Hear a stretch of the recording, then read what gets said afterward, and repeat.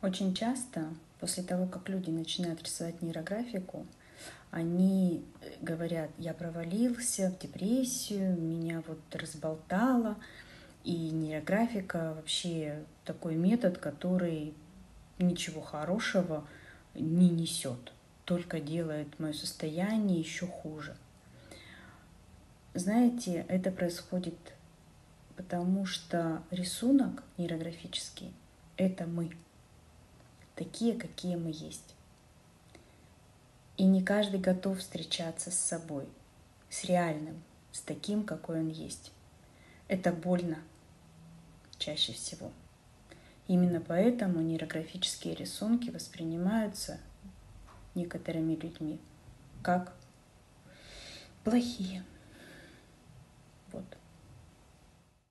Любой нейрографический рисунок, нарисованный вами, в любом случае даст изменения. Возможно, эти изменения изначально будут не такими, как вы ожидали. И поэтому будет больно. Будет казаться, что все, почва ушла из-под ног. Понимаете? Потому что такое происходит очень часто, когда мы наделяем что-то очень большими ожиданиями.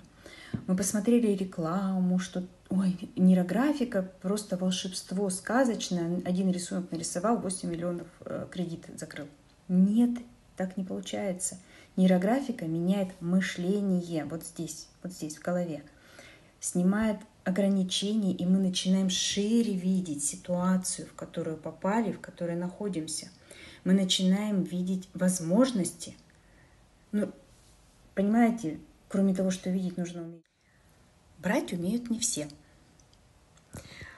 И смотрите, как интересно получается. Есть я в какой-то ситуации, которую хочу решить. Мир показывает мне выход из этой ситуации, показывает решение. Но я это не беру, потому что это ну, нарушает мою жизнь привычную. Мне некомфортно что-то менять. Кто виноват? Поэтому не нейрографика. Нейрографика только помогает. Рисуйте нейрографику через сопротивление, через боль. Смотрите себе вовнутрь, в себя. Ловите свои ощущения, учитесь себя любить, учитесь не бояться рисковать, и все у вас будет супер классно.